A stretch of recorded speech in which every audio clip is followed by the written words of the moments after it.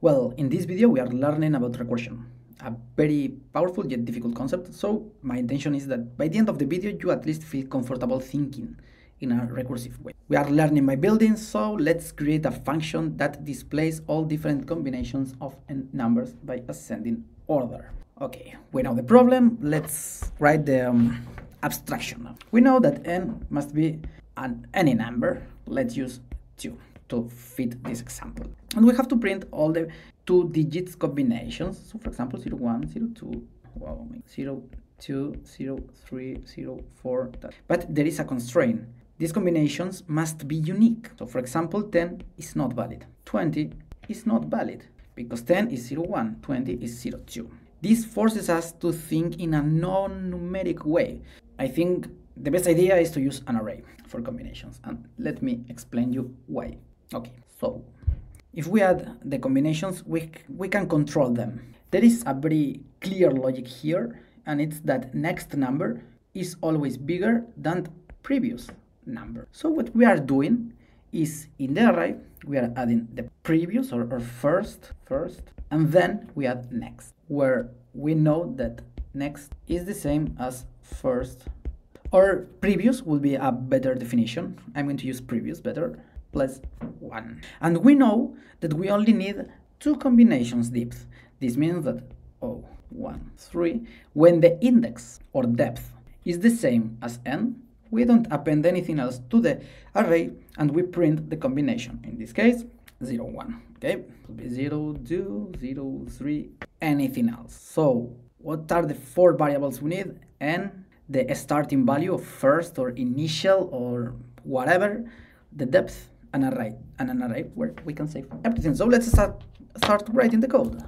npm main.c in the void uh, n is 2 in depth 0 uh, we need the array of characters. It's going to have the value of n. And uh, the first character uh, start the starting point. Okay. Now we need to write the previous logic of how to append to the array and how to write. So we function print combinations in 10 depth char array char start. Okay. We are going to make this function recursive. This means it has to call itself. Print combination and depth or start. Okay. Anyone can see that this is a problem. This is an infinite loop. So we have to add a breaking point. The breaking point is the point or the, the um, situation where the function knows that it has to stop. Please don't continue doing anything else. Uh, let's go to the example. We know that depth has to be the same as n. This is a breaking point. We don't need to add anything else to the array. So our logic of function is going to be adding elements to the array and the breaking point stop this and, and print it. So if the n, we should return. Oh, but how do we reach this point? Because now we are calling the function always with the same value, with depth is zero. Okay, easy. Let's update the value of depth after each call. So here, if we call the function here, okay, print combination, okay, when we call the function here, the value of depth is zero. Next time we call it, it's one. Next time we call it, two. Two is the same as two. We can stop and return. So now let's add elements to the array. What do we know? We have to add for each starting value. So uh, it's digit, same as start. In this case, it's zero, but it can be anything. Digit start digit is less or same as 9 we have to be inclusive. Let's add i. Uh, sorry i know digit. Oh, digit. Okay so we move this here and uh, array. Depth remember depth is the index. In our array is the same as digit.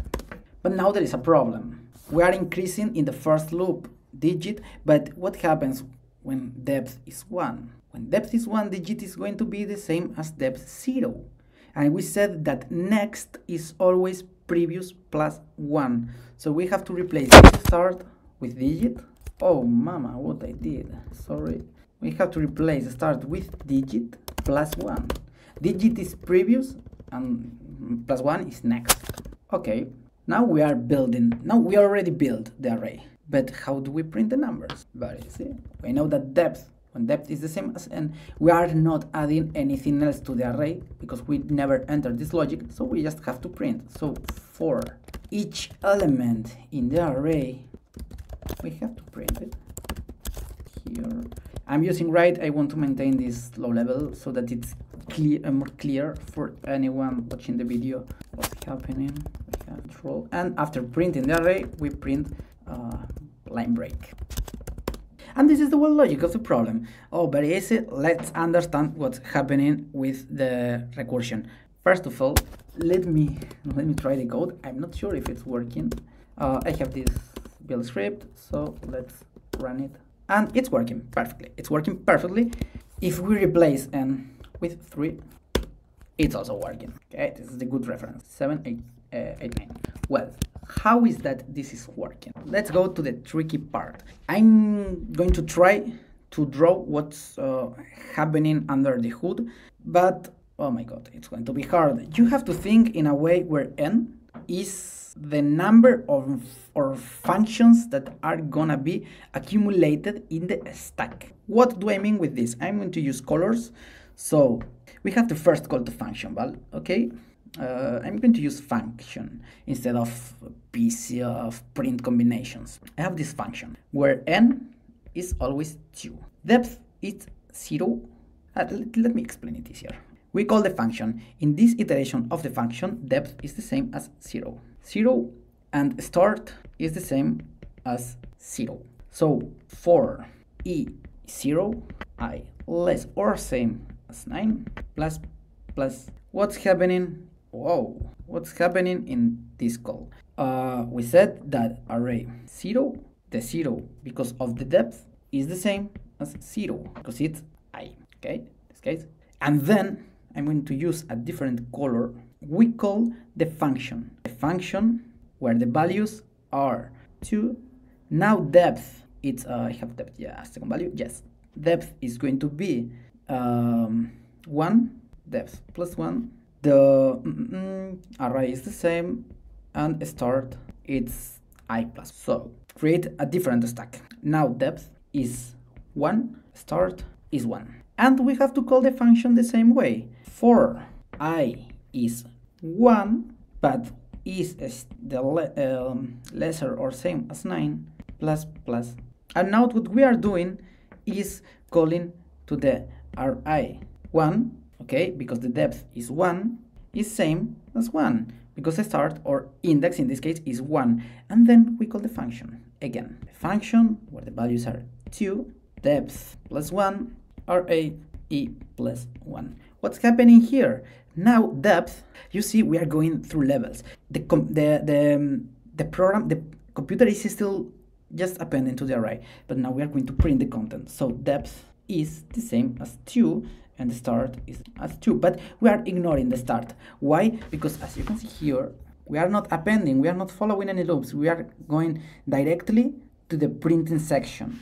So what we are doing the array it's 0 and 1 the array has the contents 0 and 1 and we are just printing it just print it. We are not doing anything else. Now we have to go back one level.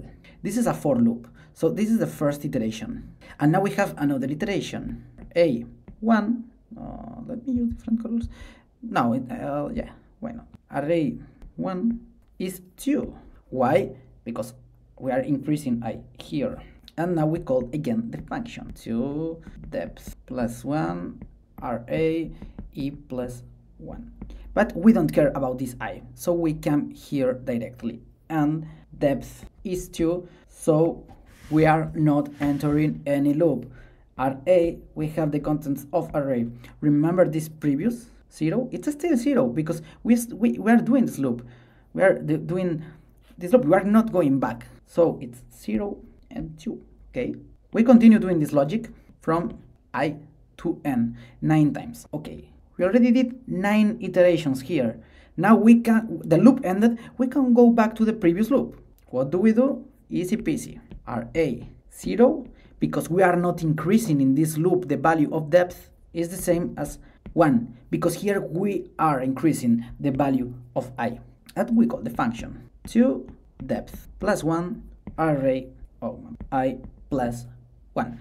You know what's happening? We jump here and we initiate a different and completely new for loop. For i is the same as here. 1 plus 1 is 2.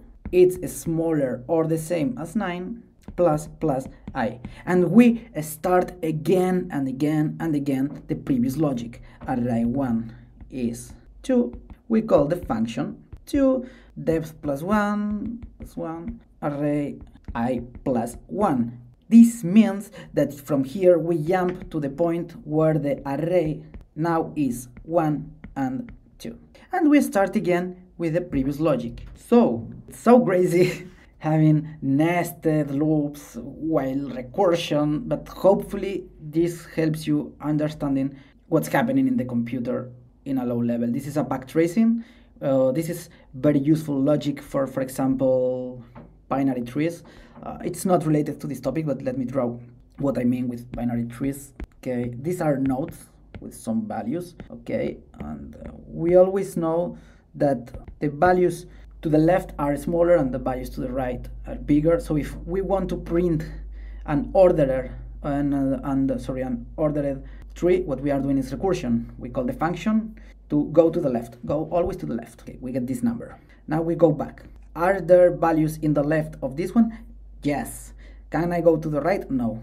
So let's continue. Go back. Okay. Are there values on the left of this one? No more.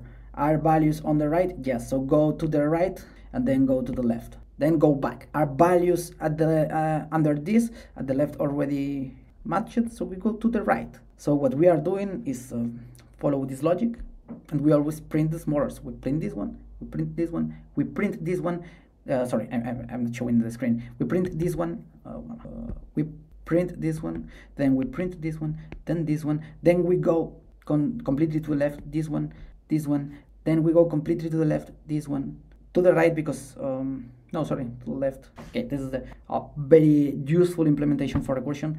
So hopefully you feel more comfortable understanding this logic. If you have any questions, let me know and enjoy the coding.